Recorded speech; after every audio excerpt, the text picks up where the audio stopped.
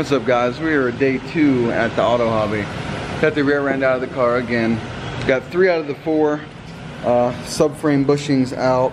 We've been having to press the centers out, then cut them for some relief, and then hammer the F out of them to get them out. But we got four of those. We got one left. Got the other two out. And then we'll put these new bushings in for the rear. Real nice. Real, real nice. And then uh, we'll put the subframe back in and we'll take the diff out. Do the three diff bushings and the new gasket for this because that's that's no bueno. But uh, yeah, fun.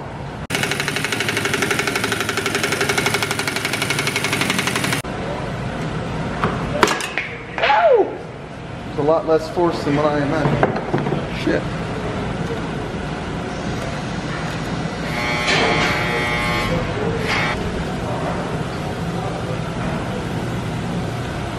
Enjoying yourself?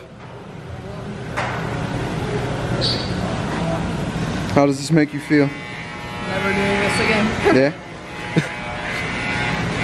we got those, we still gotta do the diff, we still gotta do trailing arm bushings, but they shouldn't be too bad. Talk about a pain in the butt, but they're on. We're all in. Except for the diff. We're about to try and try and do the diff while it's down here. If not, I think we have to put everything back in the car and then do the diff. We got one, two, there's a third one. Not too sure.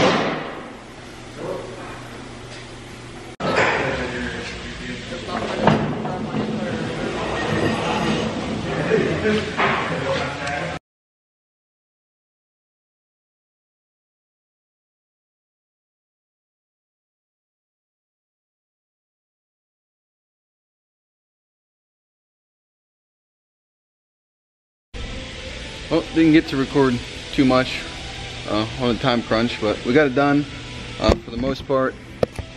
Still gonna have to come back and do the uh, differential bushings, motor mounts, and then when she gets coilovers to do the, uh, the strut um, mounts as well. Um, it wasn't too bad, wasn't too too bad at all. The tool, all the tools we rented and got, none of them worked. We had to rig everything.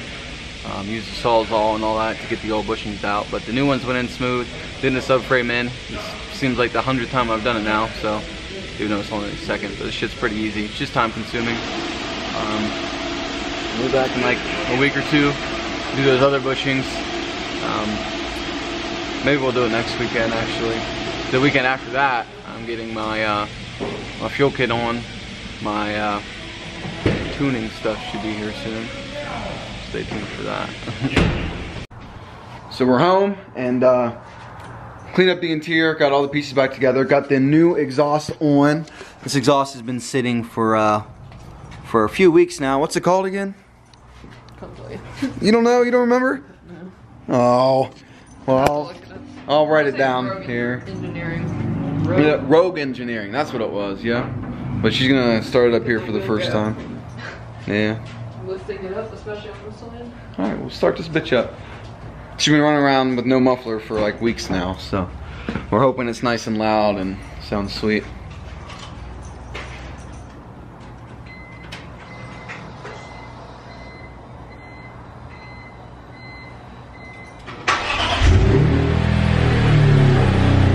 Alright.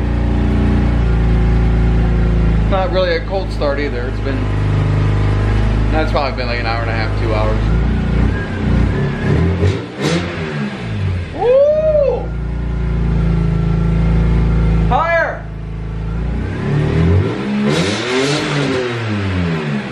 Okay. It's uh, time for a test drive.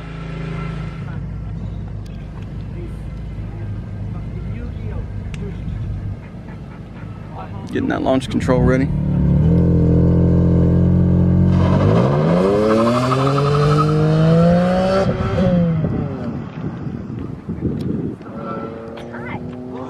Doing pretty darn good with blown struts. Yeah, come on, come on.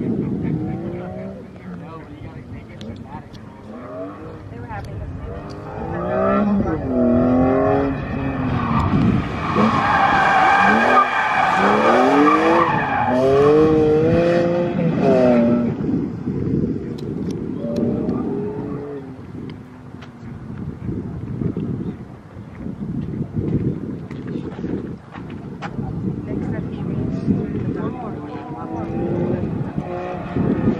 My girl. Come on. Perfect. Rear wheel drive.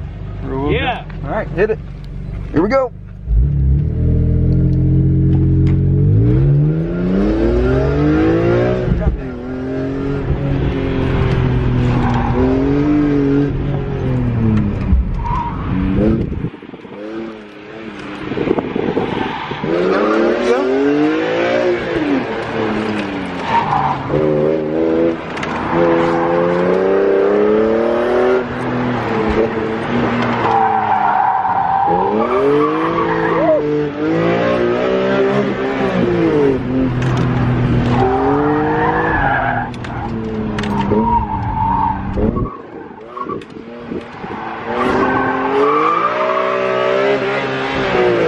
So torquey.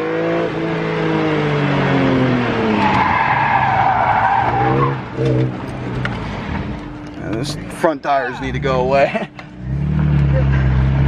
that was that was tight though. That was good.